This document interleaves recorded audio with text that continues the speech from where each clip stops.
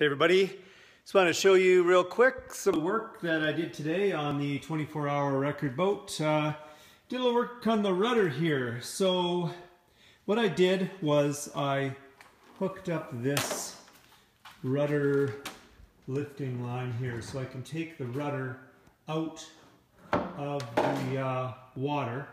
And the reason I want to do that is I want to test, be able to test and see how much uh, drag the rudder actually has. So I'll do a couple of runs with the rudder in the water and then I'll do a couple of runs uh, with the with the rudder completely out of the water and I'll measure my uh, and keep my watts, so my power input consistent and then measure the resulting speed and I will be able to quantify exactly how much drag uh, this particular rudder has.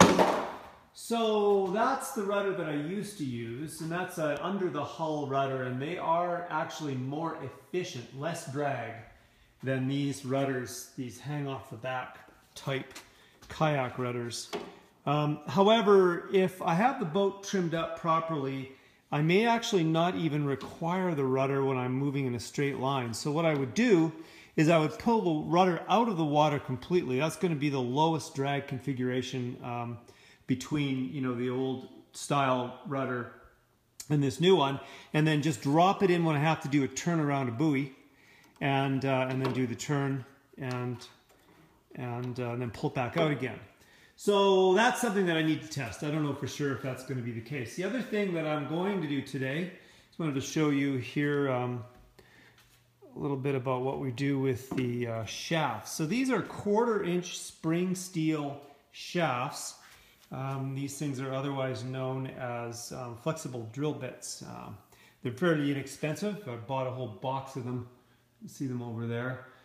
Uh, this is the shaft that I used, the same shaft that I used during the original record attempt, and there is a finite life to these shafts. They break. I can get through a full 24 hour period, uh, 250 some kilometers on this shaft before it will break, but you never know when it's going to break.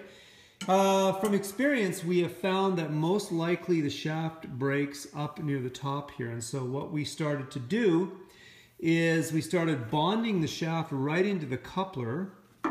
Here's the coupler right here. So the coupler would fit right like that. We started bonding the shaft into the coupler with epoxy and then wrapping fiberglass around the shaft and the coupler and this adds a lot of extra strength to the uh, shaft right where there's most stress, uh, right in this area here. So I'm hoping that's going to extend the average life of these shafts. But uh, for the most part, the reason we went with this um, model aircraft, model aircraft prop is because they're very inexpensive, about five bucks a piece.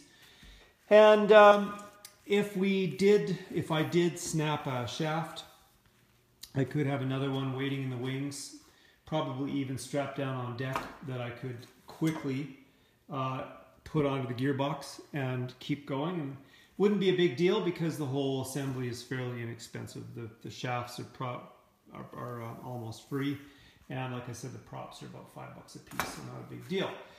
Now, the unknown question is, is it as efficient as the prop that I used to use. Now here is the prop that we used to use. This was custom CNC machined uh, out of a big block of aluminum. They were very labor intensive to make and very expensive.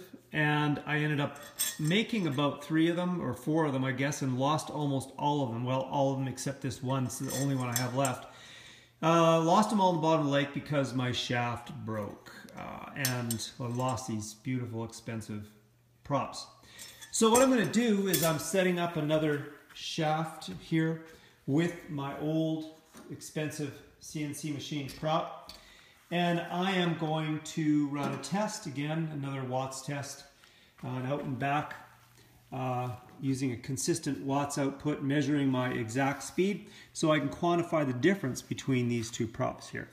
Um, there may not be a big difference, but there may be a difference. I don't really know.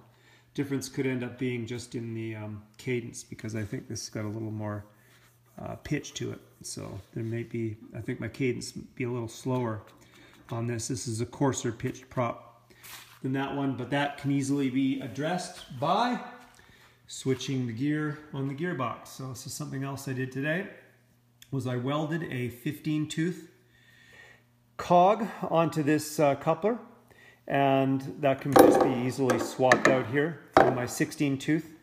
I've got a 15 tooth, I've got a 14 tooth and a, and a, and a 13 tooth as well. So I've got lots of variety I can play with to figure out exactly um, my best, uh, most efficient gearing. I like to stay at about uh, 80 RPM, 80 uh, cycles per minute. Yeah, that's about it.